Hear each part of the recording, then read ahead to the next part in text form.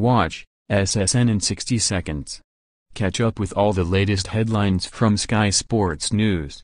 In the Champions League, Manchester United miss out on topping their group. Manchester City bounce back from their defeat to Chelsea by beating Hoffenheim and Real Madrid suffer their heaviest defeat at the Bernabeu in Europe. In his first public comments since the racism row involving Raheem Sterling, Chelsea head coach Maurizio Sarri says he condemns discrimination in any form.